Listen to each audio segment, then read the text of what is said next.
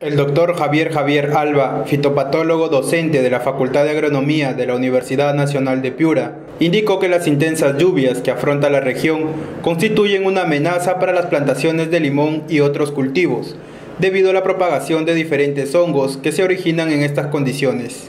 El alga roja, Cephaleurus, crece sobre la superficie de las hojas, ramas, ramillas, y afecta la corteza de las hojas y causa defoliaciones, causa secamiento de ramas y ramillas.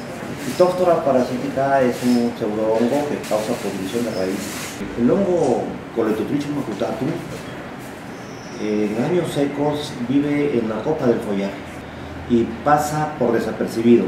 En la medida de que las lluvias son más intensas y más, frecuentes y son diarias, entonces se produce inóculo secundario rápido, este patógeno.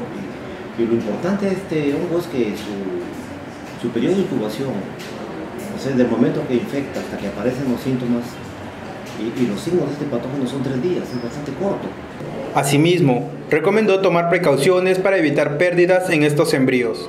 Hay que hacer labores de podas, fertilización, aplicaciones foliares de reguladores de crecimiento al follaje y aplicaciones de fungicidas 4, 5, 8 días, dependiendo de la frecuencia de las lluvias.